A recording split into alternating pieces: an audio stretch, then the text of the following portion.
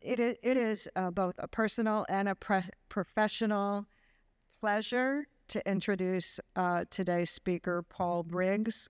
Um, he is a fascinating artist who began uh, truly a love affair with ceramics uh, since the ninth grade. And his pursuit of the uh, discipline did not follow a linear path or the usual path. And he has been a teacher, artist, philosopher, pastor, and he's studied both making and art education and has degrees, undergraduate degree from Alfred's uh, New York State College of Ceramics, Alfred University, and a PhD in education, which involves theory and policy from Penn State. He was an associate professor at Mass College of Art in Boston, and during those years, also in residence at Harvard Ceramics Program. He's been in re- residence at uh, Archie Bray in Montana, um, but recently returned to his alma mater, uh, arguably the most prestigious ceramics program in the country at Alfred uh, University, where he is an illustrious uh, tenured faculty member. So please join me in giving a warm Charlotte welcome to Paul Briggs.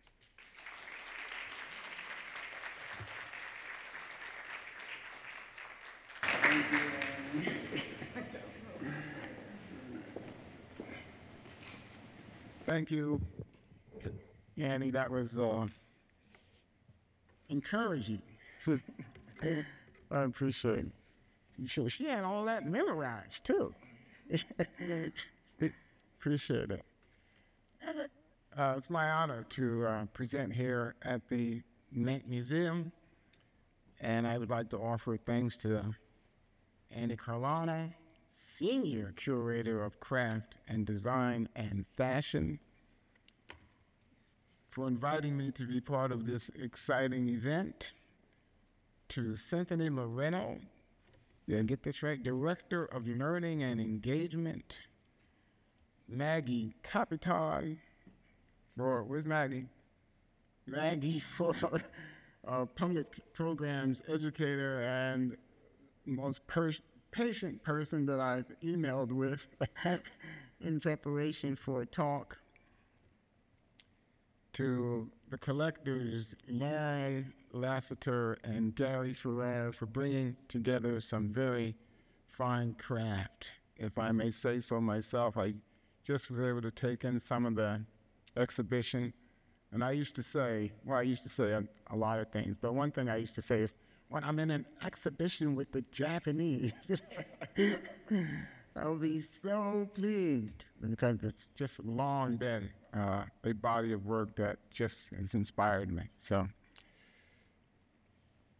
uh, to the arts leadership of the Mint and everyone who made it possible for Crafts Across Continents exhibition to take place, and for me to be, again, honored to be a part of it. And to all of you that are here, some all the way from Boston, Massachusetts, uh, thank you so much for uh, coming out. And uh, I hope we'll have a, a good chat. So, let me thank the media team for getting us all set up. And uh, how is this sound? Am I doing all right? Yeah. Okay, thank you. Okay. A little closer. Okay, how's that? Okay. Use my outside voice here. Okay. Okay. Oh, I'm gonna stand down at the Dunhill. Exciting part of town. All the arts are there. If I was uh, 25 years younger and had a lot of disposable cash, I see how Charlotte could really be a fun city. All right, 35 years. okay, let's see where we are here. Okay. Okay, Martin Puryear. My favorite artist here. And William Kentridge. I usually, I used to wait for the giggle. Okay. Penland School of Crafts. And I'm, where's, uh, what's uh, Maggie's son's name? Zach. Zach, this is, a, this is me about to do the flip. Probably for these pieces, definitely flipped. I see.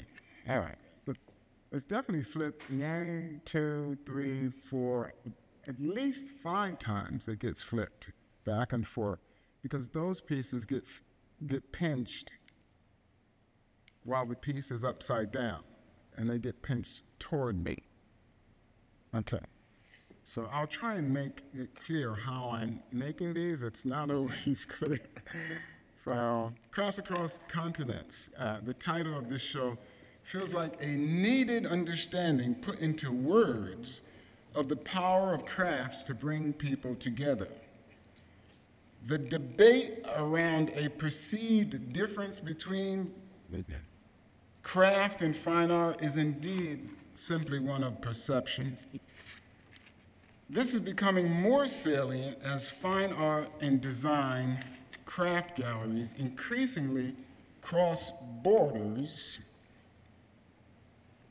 For me, it gets to the essential question about fine craft and art that has something to do with labor. There's this concept of aesthetic fitness. That is, there is something about our viewing and experiencing that responds to observed labor or the lack thereof. This can be heard from a negative point of view when someone who doesn't quite understand art makes the statement, but a child could have done that, not realizing that often drawing like a child has been the goal of the artist. Or we hear the more telling confession, I could have done that. And then there is the somewhat misplaced question, how long did it take you? 35, 40 years. how long did it take you? And then there are the positive responses, how did you do that? And then there's the somewhat misplaced, more positive response, how long did it take you? So, what is aesthetic fitness? Let us take, for example, from the field of, I, I, guess it's a field, bioaesthetics. It was definitely a course that I took at the Massachusetts College of Art. Uh, consider, if you will, the peacock's tail. In the course bioaesthetics, we studied that non human plants and animals create a sort of aesthetic beauty. They range from various types of orchids to the well known bowerbird. I, I, love this slide because it's a, an installation of a bowerbird making an installation. uh, the bowerbird to the peacock. One of my primary takeaways from the course was what, what it costs each creature or plant to perform its ritual, make its installation, or in the case of the peacock, to grow its tail. The larger and more colorful the peacock's tail, the greater the opportunities for the peacock to mate. And yet, the greater the size and more colorful the peacock's tail, there's also an increased risk to the peacock's life because they can be easily spotted by predators and they also can't get away as easily. But what is it about the peacock's tail that signals to a female peafowl that the peacock is fit as a mate? It is the fact of what it costs the peacock to grow the tail. The fact that the peacock has the biological resources to grow such a tail signals, if you will, a type of aesthetic fitness that signals reproductive fitness all of a creature's or animal's aesthetic signaling is either for the purpose of reproduction or survival, and as in the case of the peacock, these two often clash. So I began to wonder when I was taking the course, uh, what did it mean for me as an MFA student And you already mentioned that I was a pastor, and then I went back to work on my MFA. So we gave up a lot in order to make that move. So I'm in this class, and I'm saying, "Look, look, what does it mean for me to have gone back in school in later life, putting everything on the line for art's sake? For humans also signal aesthetic fitness. Very few humans can signal aesthetic fitness at the highest possible human level, as does Allyson Felix, who became the most decorated Olympic athlete in 2021. The primary compelling attribute of sporting events is the fact that it costs athletes almost everything to compete at such a high level. And you can see that this is the case because often, not only do they talk about what it costs the athlete, if someone has overcome some particular challenges in their life, you know, if, you know, if they come from a particular neighborhood, or you know, if they if, if they have a particular uh, ailment that they've overcome, or if they had an accident or something like that, and they recover from it and keep going, there's something about that that just gets our attention. That kind of labor. However, if you're unable, as are most of us, to signal aesthetic fitness at a world class level, Alexander McQueen is willing to assist you in this department. And of course, it will cost you.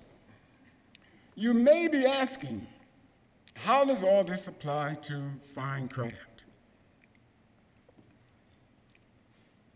Take, for instance, the wampum that was made by several different indigenous coastal peoples who had access to whelk shells. The labor intensive nature of creating wampum gave it aesthetic and cultural value.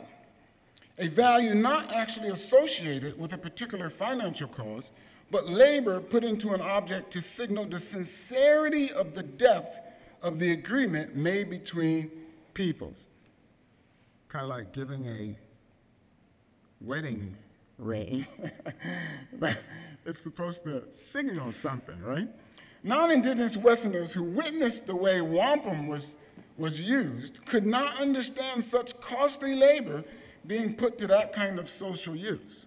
Yes, human labor can show aesthetic fitness, but it can also show a type of aesthetic value over and above the aesthetic object's material value. Indeed, the term aesthetic in philosophy falls under the category of axiology, which has to do with the, how we come to value things. Also, under axiology, we find the study of religion and ethics. Miller, in his article Aesthetic Fitness, agrees that biologically, art must serve either a reproductive or a survival purpose, while also understanding that these often clash in Western society. So, why else, asks the scientist, would the human species accept such a cost when there is no big reproductive or survival payoff? This is why we have the all too ubiquitous phenomena of the starving artist. Many of you are familiar with Yo Yo Ma. Yo Yo Ma finds himself on a street corner in New York City. and he's playing, he's, you know, the, probably the most accomplished celloist, you know, arguably, right, one of the best in the world. He's on a corner in New York City and he makes about $40. he's there for hours and he collects about $40 in change. The answer is because labor intensive work signals an aesthetic fitness for humankind that has something to do with a person reaching toward the highest level of creation that is humanly possible. And that in itself has value. So when we go to a sporting event, we don't, we don't ever have to run as fast, jump as high, or climb as, as tall a mountain as those that we are witnessing. But watching them do it says this is something that is humanly possible. And so we all grow from that experience. Same is true when we're, when we're taking in other types of objects of beauty. It's just that it's the best that we can do. Uh, there's a fellow who I read, and uh, I can't remember who it is right now, and he's a confessed atheist. And he says that uh, if he had to pick some things that he would leave behind, one of the things that he would leave behind for, you know, for, you know, maybe, I don't know, I don't thousand years from now or whatever, would be the Hallelujah chorus. He says, not because I believe in it, he says, it's just the best that we've done. So he wants to leave those things that are just what, what, we, what we can strive for. In some groups, okay, these objects, whether maker or admirer, signal that human life is worth being surrounded by such beauty. It is not art for art's sake, it is art for human sake. In some groups, these objects take on a sacred quality for the community. Love the Mimbres bowl. Mimbres bowls, everybody had their own bowl. And when the person died, they put a hole in the bowl and bury the bowl over top of that person's face. So that craft takes on this completely other level of importance uh, in particular communities. Okay.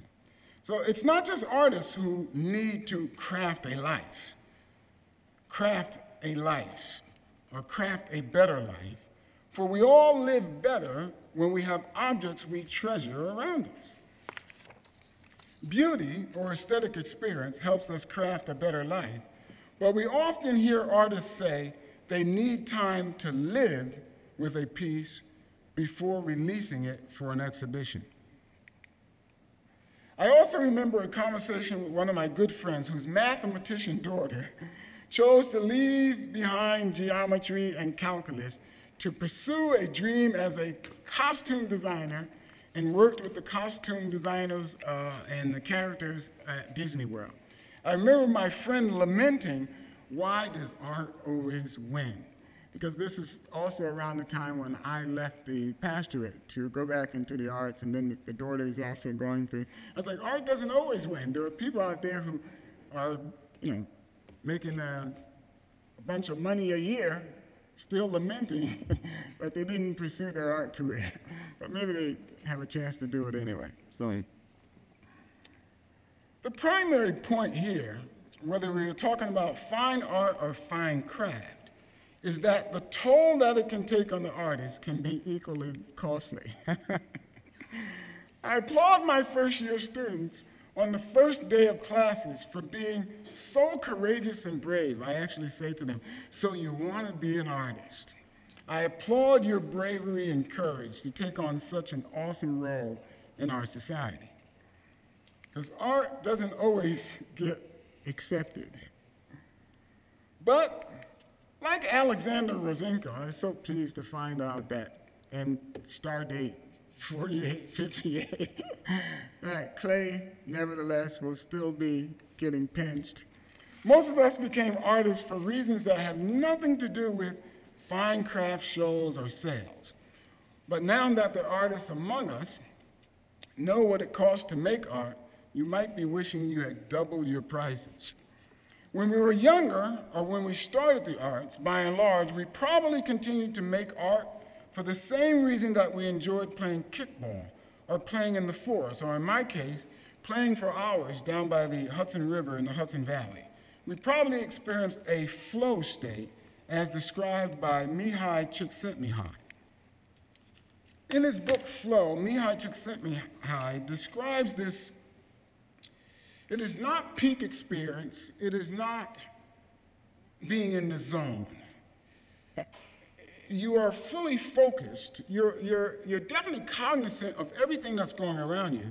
It's just that the arts have fully embraced, or whatever you happen to be involved in, it has fully embraced your whole person.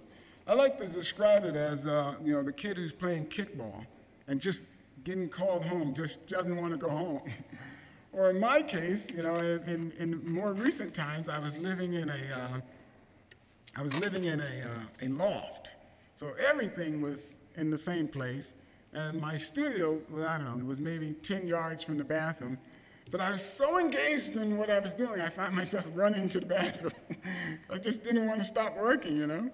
So, flow, one of the attributes of flow is that if this is the activity, the challenge, it, if it really outpaces uh, the skill level, then you're going to be bored. Oui. If it's really behind, your, if your skills lack really behind, then you're going to be frustrated. The sweet spot is when the challenge just outpaces the skill level and it just pulls you along, which is why we just continue to push what we want to do. Why we want to run faster and we want to jump higher. Uh, when Mihaly Csikszentmihalyi did his study, he found that the people that responded most were artists, athletes, but also mountain climbers and surgeons experience a high level of flow because they just there's no way they couldn't be present, right? If you're a mountain climber, you, you just got to be present all the time. If you're doing surgery, you have to be present. And that kind of focus just created this wonderful flow. So we continue to push ourselves. This is why the mountain climber wants to climb higher, why the fashion designer continues to design, and why the zero for 15 in the first half NBA player comes out shooting in the second half. It's not so much the points as it is the flow uh, Mihaly Csikszentmihalyi did a seven-year study where he found most of those things to be true. And the first place he found these objects is uh, he was experiencing uh, people who experienced great flow, as I mentioned, surgeons and mountain climbers. Uh, he started interviewing initially people who had survived uh, the Holocaust and how they were able to keep themselves sane and find flow and he found out that there were people who worked in factories, and if they were required to do 10 of something, they would see what it took to do 12 or to do 13. And that created what he calls an autotelic personality, or as we say in theological terms, uh, exousia, someone who worked out of the authority of their own self. So he describes uh, people who push themselves in this way as having that autotelic personality. The flow state uh, develops this personality, he comes just short of calling this spiritual development. It is in this and similar texts, such as spirituality and contemporary art, the ideal of the numinous. The numinous is a term reserved for experiences of flow and wonder that is found in the visual arts. This is what led me to begin to talk about art making at, as a spiritual practice. That is, art practices that develop one's inner self. Obviously, everything on the continuum of fine arts to fine crafts will enable one to develop an autotelic personality. Another area for examination of the power of craft would be a question posed in the last chapter of Glenn Adamson's book, Craft in American History. The chapter is titled can craft save America? Throughout the book, Adamson demonstrated how America was founded by craftspeople. He reminds us of simple facts such as Paul Revere was a smithy, a silversmith. Adamson summarizes again how without craftspeople, the colonies would not have continued. He emphasizes quite rightly that without craft, the craft know-how of indigenous peoples, the colonists would not have survived. He documents that the craft abilities of enslaved persons added greatly to the craft skills of the colonists and indigenous persons, that there was a synergy that took place among craftspeople that spurred the whole democratic experiment forward. The contribution of both enslaved and indigenous peoples were by and large mostly unnoted, but it was a synergy that took place between all those groups and craftspeople. So in the last chapter, Adamson turns his attention to the present state of America, and the role of craft is already playing a role in bringing peoples together, as we're all here together even now.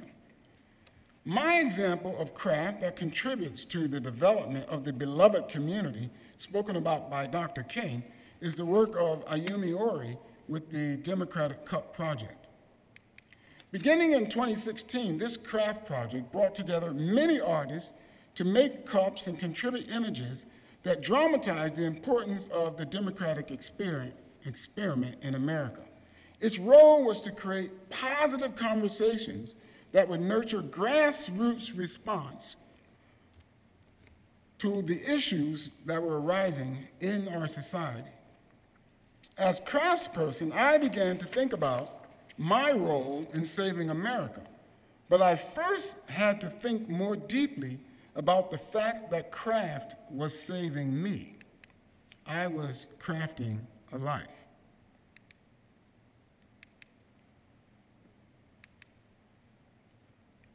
In his book, Solitude, A Return to Self, Anthony Storr gives us a glimpse into the lives of creative people.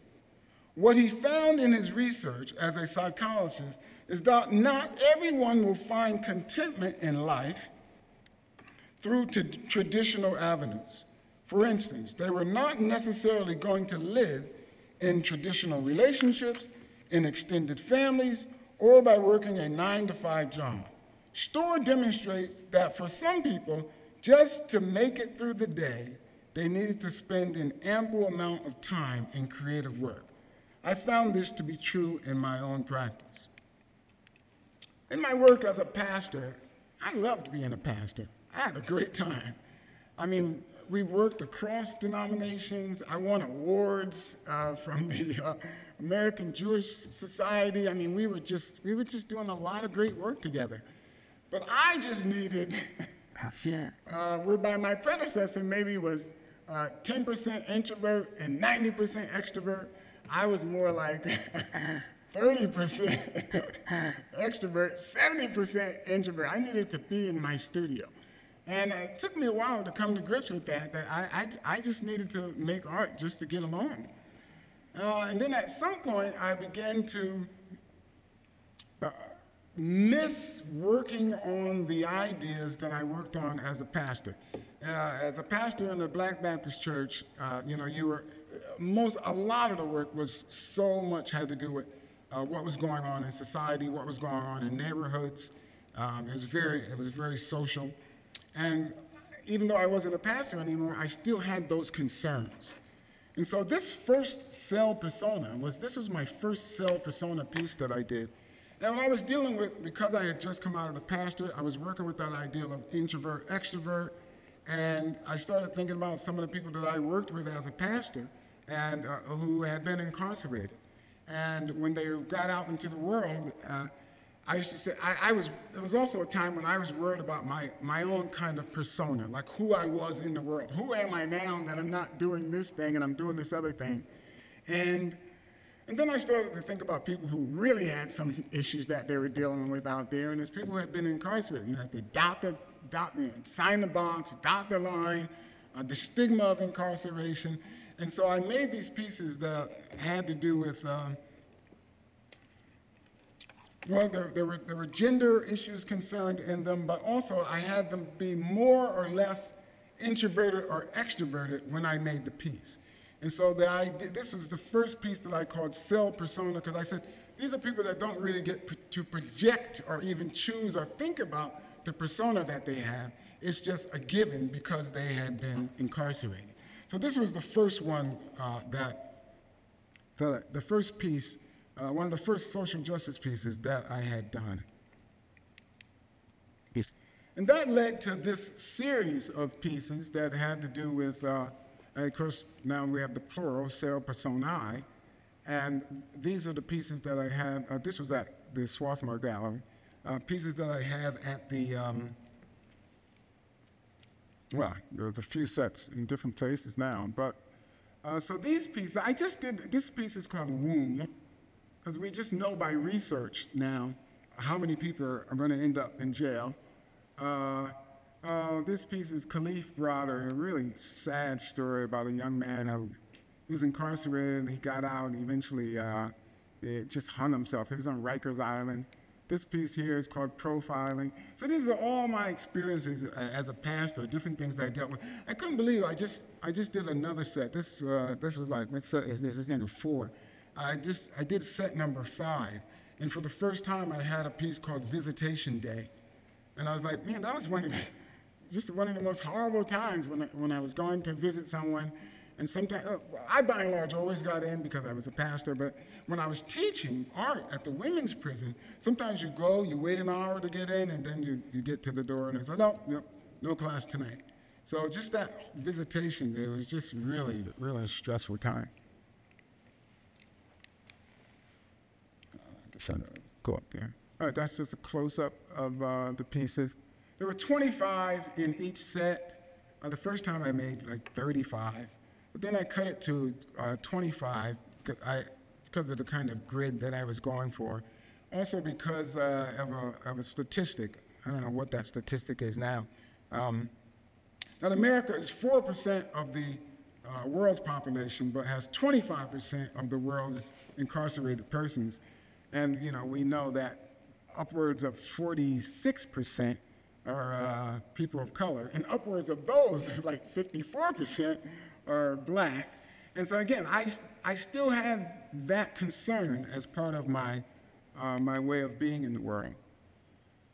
And then I, I don't know if it was the work that I was making. I was definitely going through a hard time. This is from, uh, oh my gosh, what's the name? Williams, Williams' book. Uh, Black Pain, we only look like we're not hurting. Oh, gee, should have had that cover up here. But I was doing these ideas. I, am also already into this idea of the refuted vessel. But even a cup, like those cups that I showed from the Democratic Cup Project, that I always tell my students if you make a cup, if you make the handle so elaborate and beautiful, we're not even going to be able to use the cup. so that the handle is arguing against the function of the piece. And so I decided to purposely refute some vessels uh, because I, I was just going through some things and I was making all this really challenging work. Uh, and so then what happened was, I was like, you know, this work is tough. I don't know how people like Kara Walker make this kind of work all the time because it's really wearing on me. And so I, I was either going to turn to the gospel, to the blues, or to jazz, or black poetry, uh, because all of those genres kind of transmute uh, suffering. So I, I, started turning to uh, poetry. So this is the poetry series. Uh, this is the Amanda, uh, the pieces after Amanda Gorman. I remember watching. I walked away from the television, and then I hear this voice. I'm like, what is going on here? I'm getting the goosebumps. I go back over, and it's Amanda Gorman. So really just changed the whole trajectory of the poetry series.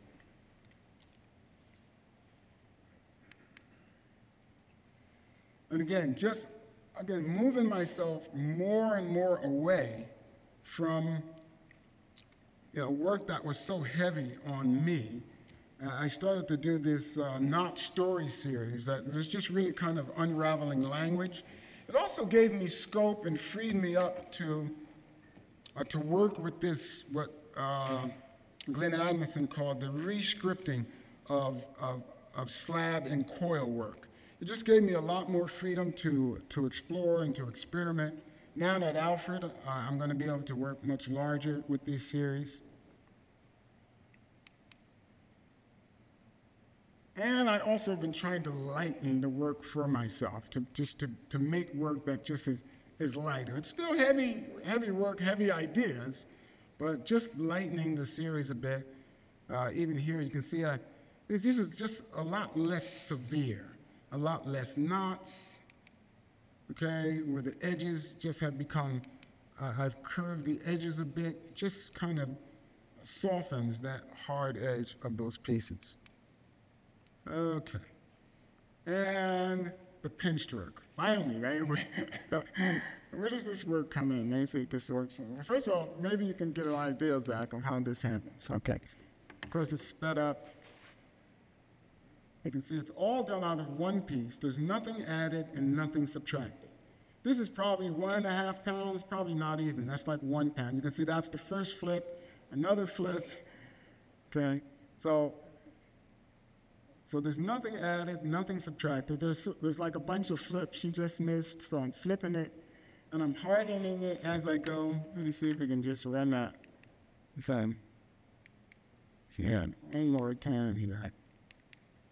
So whether I'm working with one and a half pounds or the one up in the show, that was probably four and a half, five pounds. Or if I'm working with 10 pounds, it's still the same process. Of course, you know, one pound is kind of like this, but 10 pounds, you know, you're really getting a workout. So that piece upstairs, all that piece, everything that you see was out of one piece of clay. So that piece is, what is that, like 10, 11 inches? That's big for a pinch pot. A pinch pot is usually, you know, two, three inches, if that. Okay. So that should help some. Okay. So this is a pinch pot that's all made out of one piece, except for that round bottom dome. That is uh, that's the only added piece. The rest of that is all pinched from one piece. So the little marks that you see here, uh, right there, those are all pinches. So that's one, two, three, four, one, two. So all that's pinching. So uh, on my Instagram, you know, you'll see something that takes, you know, 30 seconds. It's probably two and a half, three hours, because you're also doing it while the clay is wet the entire time. Okay. And this is my meditative work. I remember when my diaconate ministry came over the house for the annual church picnic, and they come down into the basement and they see, this was actually made during that time. Uh, they come down into the basement and they see these pinch pieces and they see all the little, it's like, that's what you do on your time off. so yes, this is meditative. Okay. So, uh, this one is done in, this is one piece this is two pieces, and then this is three pieces. Okay. And I was looking at, obviously, uh, well, there's a few things happening here, but um, I was definitely looking at uh, um, Greek calyxes and kraters when I was uh, making these work. Those are some of my favorites to do. Again, one piece, uh, a lot of flipping, and you know, those are, those are, oh, so you can pinch that clay also, and as you're pinching it, you, you just kind of give it a little turn so you can curve it. But the final curve doesn't come until I get to close to the end, and then when, when everything's done. Because if I put a different type of pinch in straight, if I can, if I so, when, yes, if I put a pinch like this, uh, what I call it? button, I can't, uh, and doesn't have, doesn't have buttons on it. But that has to happen, there's no buttons here. That has to happen before I curve that leaf back. So I have to be able to get my hand in there, give it a pinch, and then I curve that leaf back. I try to spend a little more time on the making. I'm usually uh, talking about all these other things. I'm not really spend time on uh, what's happening here. So this is, uh, again, one of these spiked uh, windflowers. That's a black clay. Uh, this is a large piece, uh, a harpy. So I'm always looking at nature. Nature makes no aesthetic mistakes. So how does nature come into a piece like this? Okay, here. One thing that nature does so well, and nature goes from, oh, in my bioaesthetics class, we talk about what happens under the ground before the plant even breaks the ground. And then you have the unfurling fronds that you see, and just how a, a flower goes from stem, and then if there's like little brown spots on it, they dissipate at exactly the right you know, ratio, and then that becomes corolla, and that becomes calyx, and then there's petals. Just how nature, just within three inches, there's all these transitions that are absolutely perfect. So I'm always trying to figure out how to make these transitions, which is where the buttons came from. How do I move from this row to that row? Okay, all those kind of things. Those are the kind of things that I'm thinking about um, as I do each piece. And so the harpy, I've noticed seen the harpy eagle, just that wonderful, you know, that, that those feathers that come off the side of the I should have a picture of the harpy on here, but this is a, uh, that's a little, it's a little controlled, uh, but uh, again, fun thing. So then I started getting into what I call a black clay aesthetic, and I also was putting black glaze on pieces uh, doing these uh, Black Orchid series. And then I, I, came to this other heavy time. I was remembering my childhood. I had something, I guess my dad was really sick. I was remembering my childhood of playing with these, these uh, water chestnuts, which are actually called caltrops. And uh, I did this really kind of dark series of pieces. again, some of the larger pieces that I ever pinched. But again, just really, just kind of heavy, weighty, emotional pieces.